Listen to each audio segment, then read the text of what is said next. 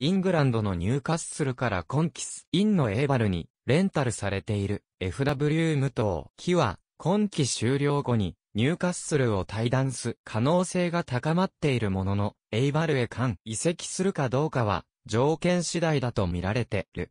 ニューカッスル地元紙、イブニングクロニクルが31日付で見通しを伝えた。今シーズンの週サッカーはダゾーンで、いつでもどこでも簡単視聴。1、月無料お試し実施中、武藤は入荷する出場機会を失い、昨季のプレミアリーグでは8、合わせで合計200分余りの出場にとどまった。今季、乾隆も所属する、エーバルへレンタルされ、ギュラー定着には至らないまでも、出場機会増やしている。だが武藤が、来季エーバルへ間移籍するかどうかは、二つの条件次第だと A 氏伝えている。エイバルが入荷するのよう、する金額の移籍金を支払うこと、またエイバが、リーが一部に残留することの二つだ。年明け後、戦のグラナダ戦に勝利して、以来11試合白星な、という不振に陥っている、エーバルは、現在リ、ガで二部降格圏の18位。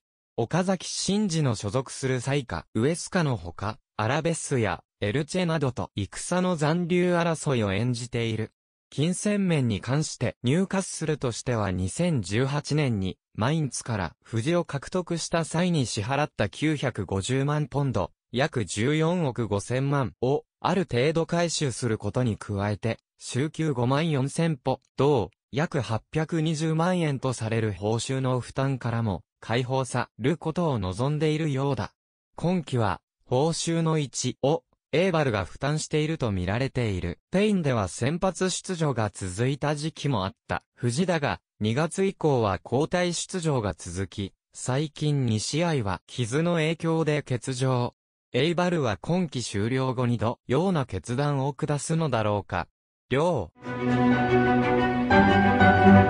う。